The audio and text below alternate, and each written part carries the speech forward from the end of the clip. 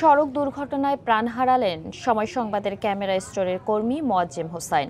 ভোরে Dhaka medical college হাসপাতালের neuroscience বিভাগে চিকিৎসাধীন অবস্থায় মারা যান তিনি। কর্তব্যরত চিকিৎসক জানান, মাথার পেছনের অংশে প্রচণ্ড আঘাত পেয়েছিলেন তিনি। স্বজনরা জানান, গত রোববার দুপুরে সাভারের ব্যাংক কলোনি এলাকার প্রধান সড়ক পার হওয়ার সময় যাত্রীবাহী একটি বাস ধাক্কা দেয় মোয়াজ্জেমকে। তাৎক্ষণিকভাবে তাকে এনাম মেডিকেলে ভর্তি করা হয়। অবস্থা খারাপ হলে গতকাল বিকেলে মোয়াজ্জেমকে ঢাকা মেডিকেলে ভর্তি করা হয়। সেখানেই ভোরে তার মৃত্যু হয়।